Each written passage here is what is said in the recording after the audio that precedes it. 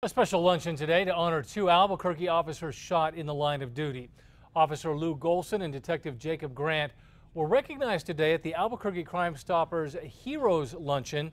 Officer Golson was shot four times last year near Montgomery and San Mateo when he pulled over a suspected drunk driver. Just six days later, Detective Grant was working undercover when a fellow officer opened fire, hitting Grant eight times. Crime Stoppers says it is important to acknowledge their sacrifice. They gave uh, the most amazing service that we could ask of another human being. They put themselves out there to protect our community and at the same time have risked their lives in doing so. The Crime Stoppers Heroes Luncheon is an annual event.